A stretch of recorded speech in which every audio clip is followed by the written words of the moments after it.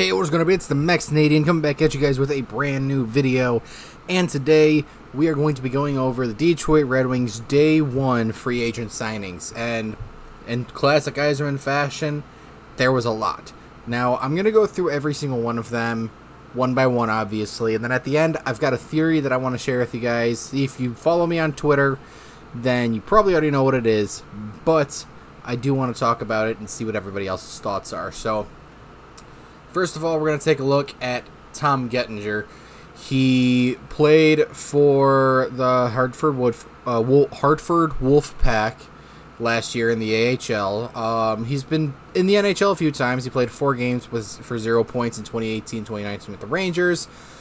One po- one point in two games for with the Rangers again in 2019, 2021 with the Rangers again. Two games, no points, and eight games, zero points with the Rangers consistently. Very small sample size, like in total, that's what, 8, 9, 10, 11, 12, 13, 14, 15, 16 games. So, not a very big sample size. He's got one point in 16 games in the NHL. It's not anything substantial. But if you look at his AHL career, they're pretty solid points. Um, he is on a two way deal with the Red Wings for $775,000. And so it's it's a you know it's not a very bad you know choice. It's not gonna it didn't cost us much and he if he works out great if he doesn't then he doesn't. That's that's fine. He's only signed to the wings for i want to say a year. So you know like i said it's not going to hurt yeah, he's signed for one year. It's not going to hurt anybody. It's he's just there to be basically a call up. Uh, nothing else much to say. Like I said, his AHL numbers are you know pretty much half point per game for his entire career. He had eight points in nine games in the playoffs for the Wolfpack for Hartford, and with the Soo Greyhounds, he was pretty solid in the OHL. But a lot of people are really good in the OHL, so Nothing to write home about here. That's why I wanted to start with him first. Much like Brogan Rafferty, played in. Sorry, he played in, Coach- in Coachella Valley for the Firebirds. He is currently, if I'm not mistaken, on a one-year deal as well. Two-year deal, two years, two day, two years, two-way contract. Sorry, once again, I'm recording this very late at night. Uh, but he's on a two-year, two-way contract for the Wings. That's seven hundred seventy-five thousand dollars. Again, not a big, long shot. He's twenty-eight years old. He's a right-handed shot D, which Detroit needed. So I could see why they made that. Made that. He was really good in uh, Coachella Valley, fifty-one points in seventy-two games. So he could. The offense is there, but it looks like he's going to be in Grand Rapids to start off the season, most likely. Uh, Again, not much to say about him. He's, you know, six foot. He's a solid addition. He will be a solid addition for when the inevitable injuries hit our blue line. So, next we got probably one of the bigger signings. Uh, James Reimer. He was signed to a, I want to say one year. Yep, signed one year to one and a half million dollars, and I kind of like it. Um, now I'm not going to get into whatever Reimer did last year. It seems that's all anybody wants to focus on.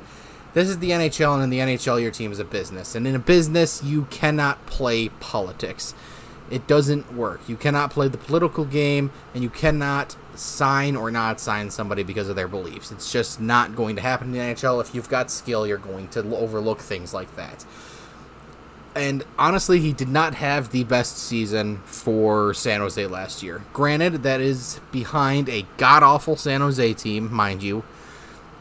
You know, that San Jose team, their best defenseman was Erik Karlsson, which the points show that he's an incredible offensive defenseman.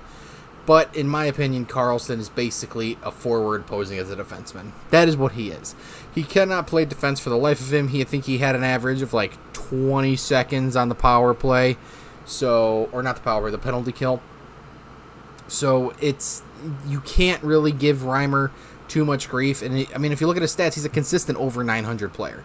Like this was definitely a down year for him. And yes, he is 35 years old, but we do need a veteran goaltending in our in our program. Like Husso's solid, but I think Husso's what 28, 29 years old.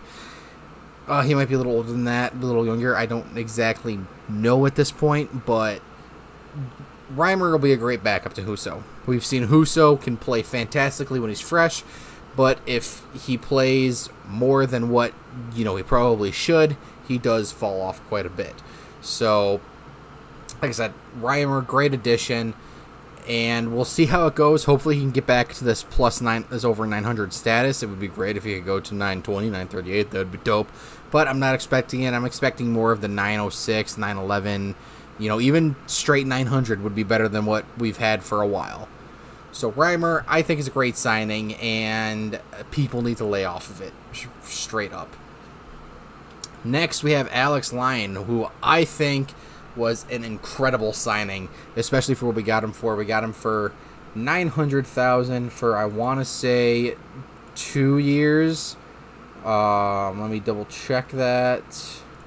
Yes, 2 years and it's a two-way contract, I believe. Um, so he's likely going to start the season in Grand Rapids, and he will end up making his way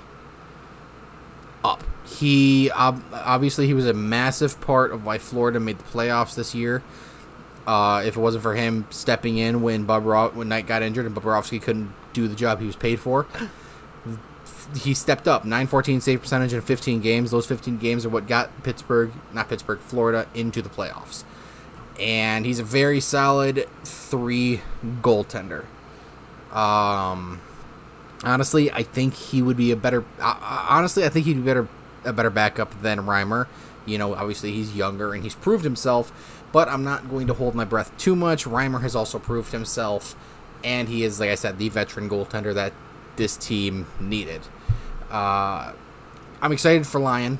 He's big boy ish, you know, six foot one, not massive. You know, he's not Hellberg size, but he's big enough to be the Detroit goaltender, and it's only a nine hundred thousand dollar cap hit. So he is going to be our he will be our de facto three third goaltender because honestly, I'm expecting somebody to get injured. It's just going to happen.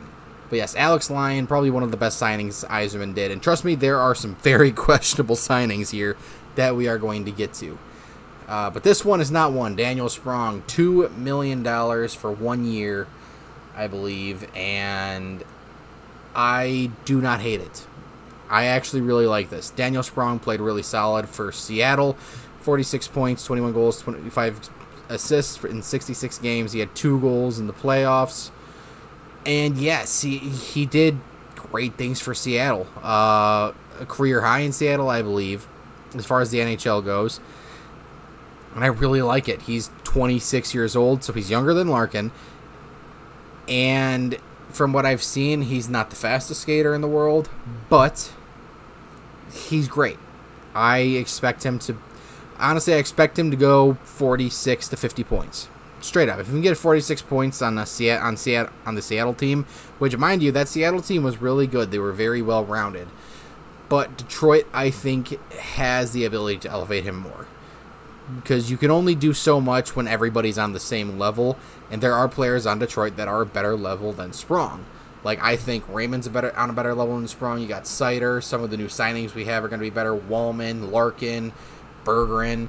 You know, they're all going to be able to elevate each other, and I think that's great. Sprong will work out very well with Detroit. And honestly, if he performs well enough, it's a $2 million cap hit now. If he performs well enough, I imagine he'll want to raise, but I wouldn't mind bringing him back next year either, if, you know, we're able to. Next, we got JT Compher, which is an, a met. I like I like the deal. I do like the signing. Kind of. If he, he he's at a cap at a 5.1 million for one year. I believe. I believe it's one year. I'm going to double check that right now. Uh, five year. Never mind. Five years. I was way off on that one. I don't know why I thought one year. Probably because of who's coming up next. But I don't hate it. I do think we de- we definitely overpaid for JT Compher. Like what other who else is going to get 5.1 million dollars for 5 years after getting 52 points that's not even a point per game most point per game players make about what larkin's making realistically but i don't know if i would pay a guy whose high was 52 points and hasn't even ever come close to that in the rest of in his entire nhl career do i hate the signing no uh, Compher played center i think he was colorado's second or third line center last year because of injuries, obviously. And it's it's he'll he'll suffice, I believe. Uh, he will either be our second or third line center, obviously, and this de- largely depends on who makes that of training camp. If Kasper makes that of training camp, Kasper will be one of our centers. So that leaves you with the question: Do you have your centers be Larkin, Compher, Copp, and then Kasper? or do you keep Veleno as your fourth line center, move Kasper up to the third or even the second line, and with either way, you're going to have Compher and Copp sitting there, and I believe Copp is the better face-off guy, in my opinion. I, I, I think the stats may prove it as well. Copp is a much better face-off guy. He's one of the best face-off guys in the league. Sue me. Whether the stats prove that or not, I still believe it. And we haven't seen everything out of Copp yet. But if Kasper does make it, he will be a center. So the question is, do they keep Veleno as the fourth line center, or do they move Kasper down there? I don't think they'll put Kasper as the fourth line center. Obvi- honestly, if he makes it out of training camp, he will realistically be our second or third line center. That's just that's just what's going to happen. So, do you? I believe Compher will be put on the wing at that point regardless of who his center is. I believe Compher will be put on the wing, which is not bad. He is a right winger. We need right wingers.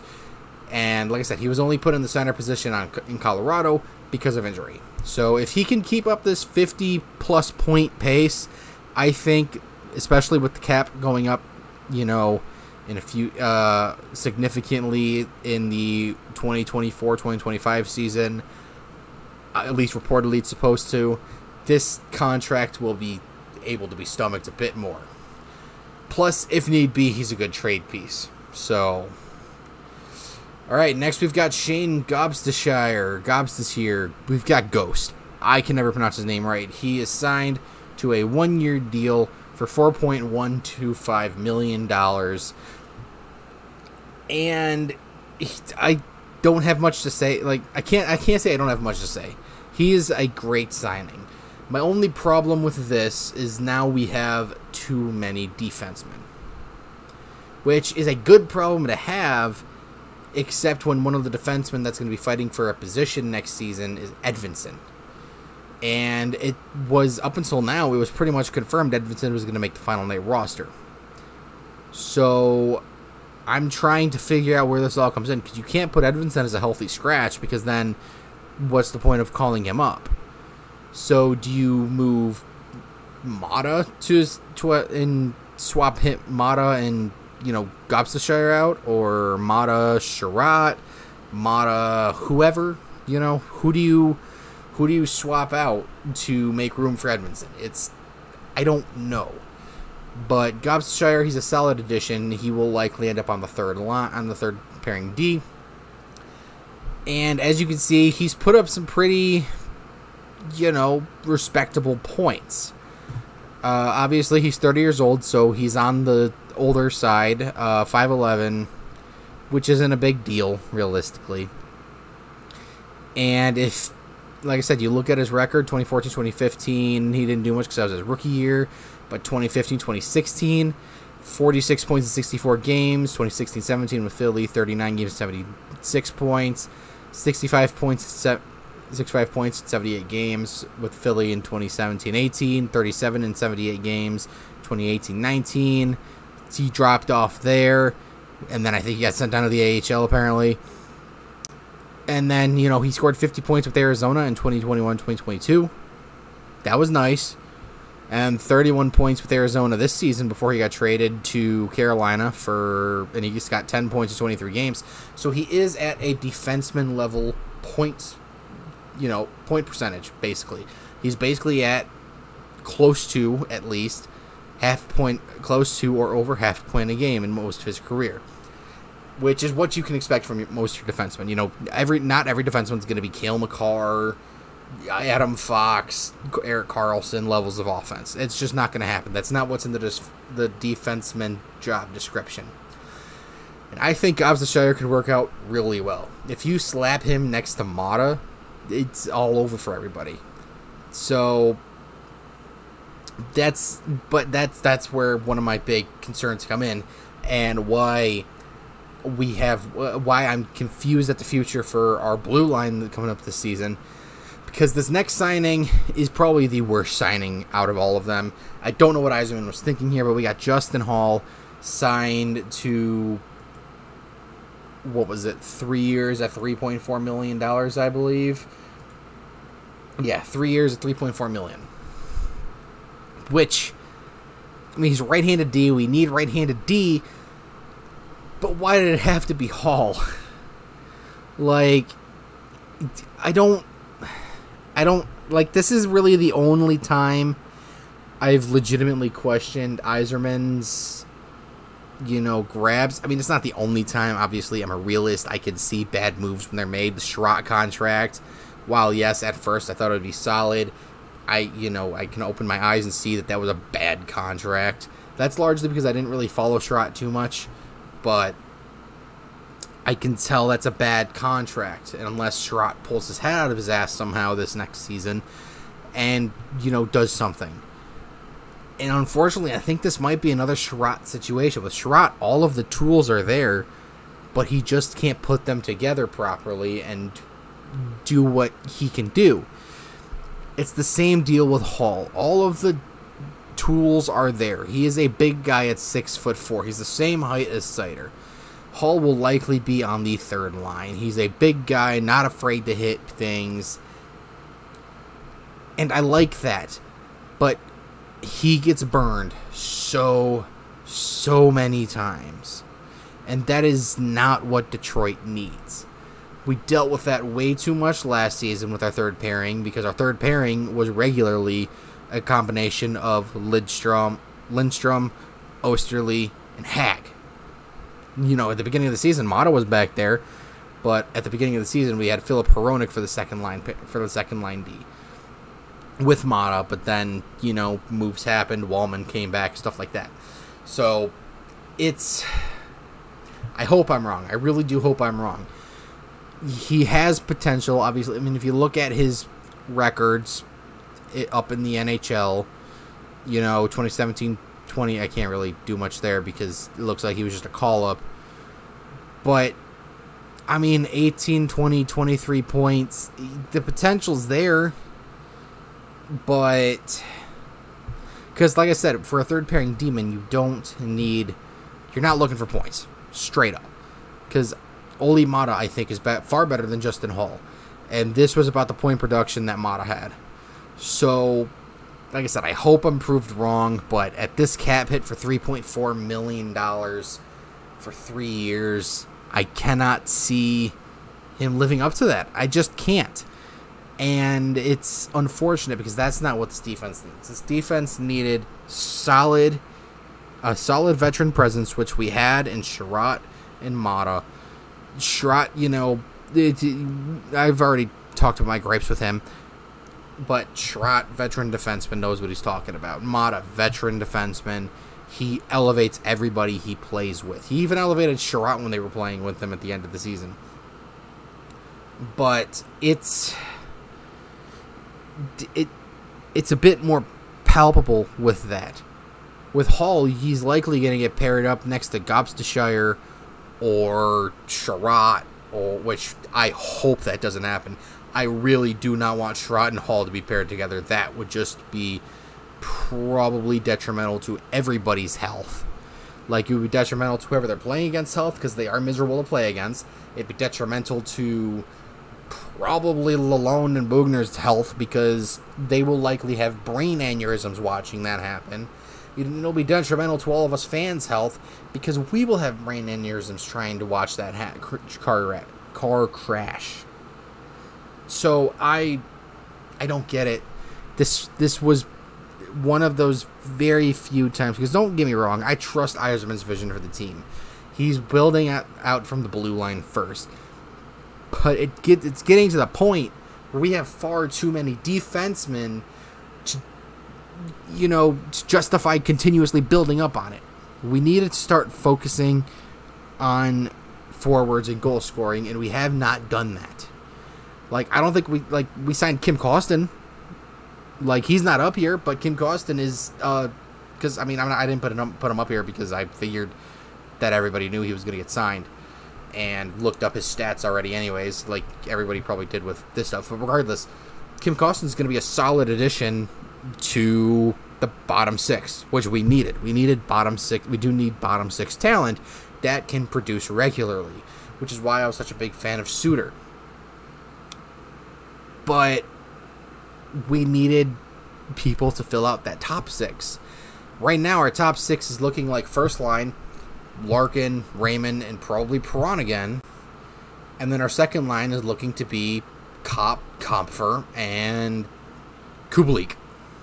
Like, that's not a bad top six, but it's not a winning top six. Like, I mean, it, well, it's not a playoff winning top six, I should say.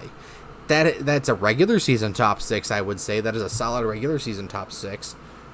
But at the end of the day, it doesn't solve our problem of not being able to score goals. Compher has the ability to score goals. Larkin, we all know, can score goals. You know, Kubalik can score goals, but he's inconsistent at it. There's so many players that we have that can score goals, but we don't have enough players that we know will score a goal. We don't have enough. We don't have any players that once that puck gets on their stick, they will. There's a 95% chance that puck's going in the back of the net. We don't have that player. Which is what brings me to my conspiracy theory. My theory, and it's a bit of a long shot, I'll say. I posted this on Twitter earlier. But I believe Yzerman has acquired a lot of these pieces for a reason. I believe Yzerman picked up guys like Holl, guys like Gostisbehere, guys like Sprong and Reimer, or even Rafferty. I believe Yzerman picked up a few of these guys to move them. Straight up, I think that's what is going on. The talks with DeBrincat have reportedly not gone very well. And that's largely due, at least if the reports are believed, that's largely due to Ottawa not letting DeBrincat's team talk with other teams until Ottawa gets a deal that they feel is fair for getting DeBrincat. Now, your opinions on that as it may be, we all know that Yzerman, if he doesn't feel like a deal is good, he has no problem waiting people out and being a stubborn mule, which is great. We love that about Yzerman. We love that he doesn't take bad deals, or if he does, it's not very often. So, my theory is he acquired some of these guys to help try and suit Ottawa's needs and come up with a better deal. That's my opinion. Some of these guys, like I said, are one, two year, one, two, three year deals, and it's a lot of defensemen. I think Yzerman knows that. Like he literally just signed more defensemen than we have room for, and that's not counting guys like Johansson, Wallinder, and Edvinsson who are going to be fighting for spots.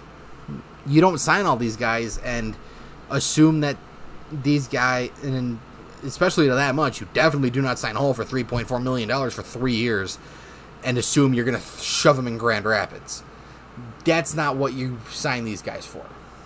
So, I believe he signed some of these guys to package with Ottawa. Like I said, a lot more defense than we need. Package around there, you know, you could throw Holl, Reimer and well, they just signed Korpisalo, so maybe not Reimer, but you know, Holl, Zadina, and a draft pick or two. You know, we've still got Boston's first round next year, and let's be real, guys, it's still practically the same Boston team. Yeah, they likely won't have Bertuzzi, Bergeron, or Krejci. I think Krejci was there. I don't quote me on that. I forgot already, but they will be roughly the same team. Like I said, yes, no Bergeron, likely no Bertuzzi. You know, Taylor Hall's gone, but they all were also very active in the playoffs. In the playoffs, and the they weren't active at all in the playoffs. Fucking free agency, they were really active in free agency, so it was like it's likely going to be a very hot, very low first round pick. Like it's gonna be mid at best. And even if it is top ten, we don't get that until twenty until you know the year after. We won't have that for the 2024 draft. It'll be a 2025 first round draft pick. So, you know, it's I, that's that's just my belief. I think Yzerman got a lot of these guys to make a move, and even if it isn't for Ottawa, I believe he got some of these guys to package in with some other assets like uh, Filip Zadina and a draft pick to tr- make a bigger trade to fix the goal scoring problem. That is just my take on it. And like I said, it is a it is a tinfoil conspir long shot conspiracy, but it is the best thing I think the Red. It's what I think Yzerman would do. We all know Yzerman has a habit of playing 4D chess when everyone's playing 2D checkers. Like, it's incredible the way his brain works. So that's just my theory. I'd love to hear your guys' theory uh, or theories. I'm sure a lot of you guys have more than one theory. I as well, but that's just my biggest theory and craziest theory that I've come up with. And yeah, so let me know what you guys think. Let me know what you, like I said, what your guys' theories are, what you guys think about each signing. I can pretty much tell everybody's thoughts on the Holl signing. Everybody's very vocal about it, but regardless, thank you guys so much for watching. My name is the Mexinadian, and I will talk to you guys later. Adios.